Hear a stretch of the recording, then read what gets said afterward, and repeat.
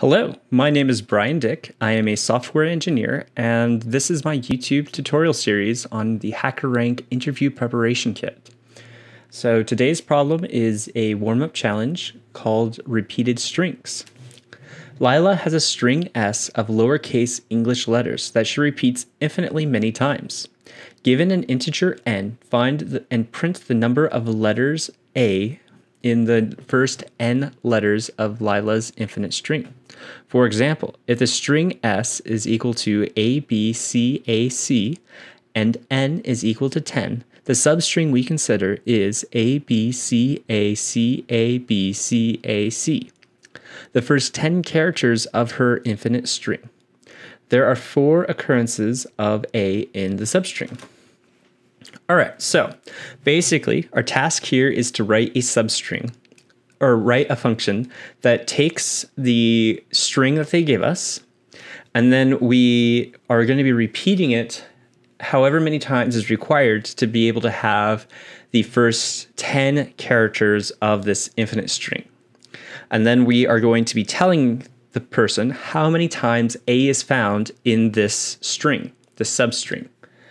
So how we can solve this pretty easily is to break up the problem into different steps. So first, we can look at the string that's given, and we can see how many letters is in, is in this string. Then, by dividing the number of letters in the string S by the number of letters that we are supposed to be going into the substring, which is n, so length, uh, the size of S the n divided by the size of s will equal the number of times this string is repeated in its entirety. Then, by simply taking the number of a's found in s multiplied by the number of times it is repeated, that'll give us the number of a's in the substring.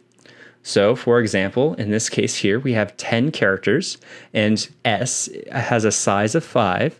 5 divided by 10 is 2. So then we just find that there's two A's in this sub this string, and we multiply it by 2, which would give us the four occurrences. However, there are two conditions that change this. The first is instead of n being 10, what if n were 11? We would then have an additional letter on the end here, which would be an A. And if we were to use the same rule by integer division, we would end up with just four occurrences as well. Well, we can fix this by after we find the number of A's in the string and multiplying it to find how many A's we have from the string being repeated in its entirety, we could then go the remainder number of letters into the string and add in every A we find in up to that many letters of the string, which would then find the proper number of occurrences.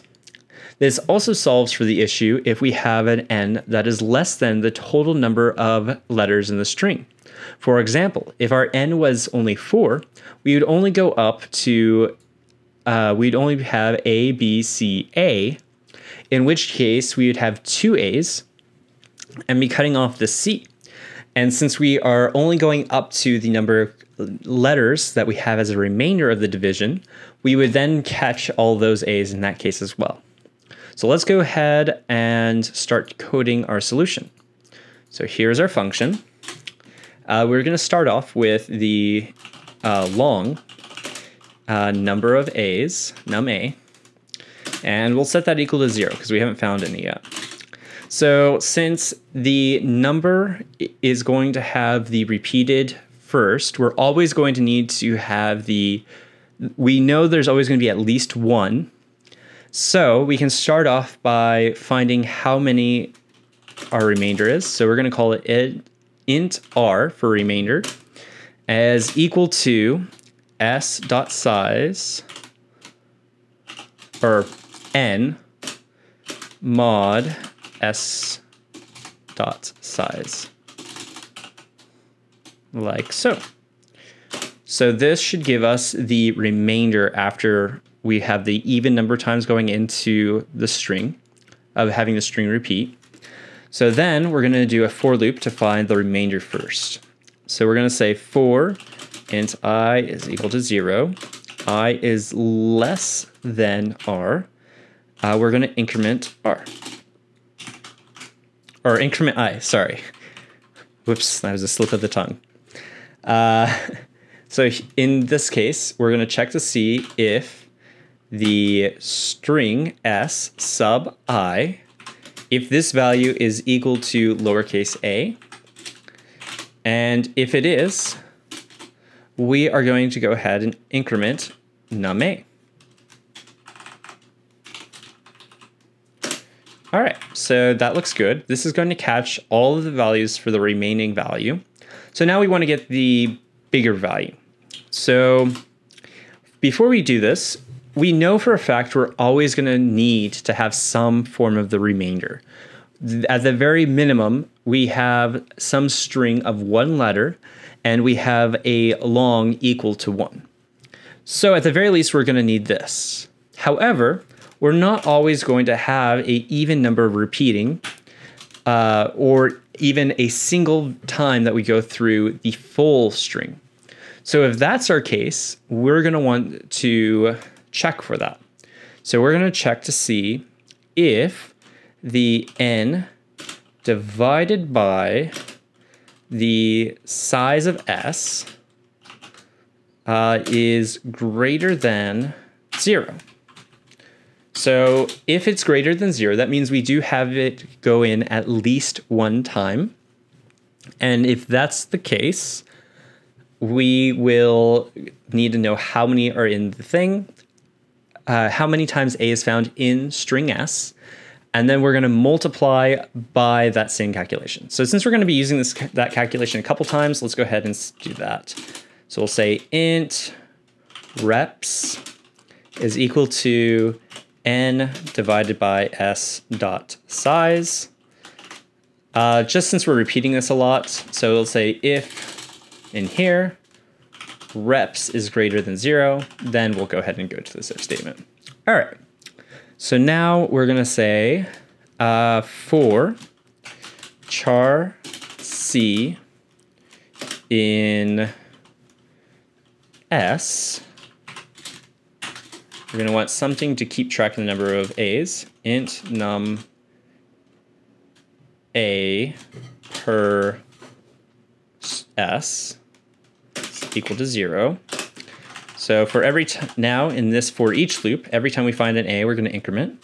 So if c is equal to lowercase a, we're going to say num a per s uh, gets incremented. So there's our incrementation. And at the end of that for each loop, we can then add all those to num a. So num a plus equals the reps times the num a per s. And there we go. So this should be a valid solution. Let's go ahead down here and return uh, num a and run code. Oh, we failed one. So in the case, so the case we failed was where we just have a repeating infinitely number of times. So the size would be one. The mod would be zero. So in this case, let's see what we did wrong here. We did something wrong in our logic clearly because this one was able to get the right number we were able to get 7 here. This case was incorrect. This should be whatever this is here. Uh, but for some reason, this is not right. Oh, I think I know what the problem is. So when we do the remainder, that should be fine. However, when we do reps, I believe this needs to be a long. Because if we do n divided by s dot size, and s dot size is 1, then we are just left with n. And in this case, I think, I'm not going to count the digits, but I think that must be what's happening is we're exceeding what an int can handle. So we will need to do the long in this case. Um, so let's go ahead and try running code there. And that did in fact fix our test here. Uh, and just in case there is an example where they do give us the, well, no, because the size has to be, I think the size will work no matter what because uh, that's handled by C++ itself. And there we have it. We were able to pass all the test cases. So I hope this was of use to you uh, and helped you out. Uh, if it did, please leave me a like. Uh, it really will help the channel grow in uh, the long run. Also, if you have any questions as to why the logic we used here works, or why I did it in this specific order for more details, uh, please ask it below. Um, I will do my best to answer any questions you have in depth as soon as possible.